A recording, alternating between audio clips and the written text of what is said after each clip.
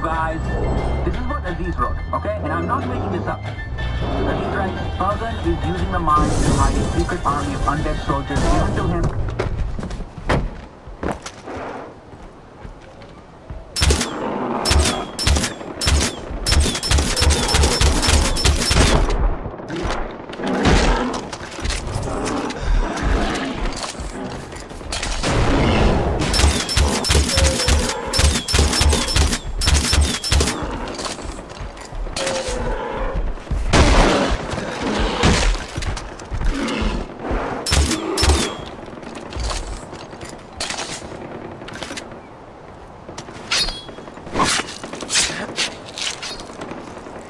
five.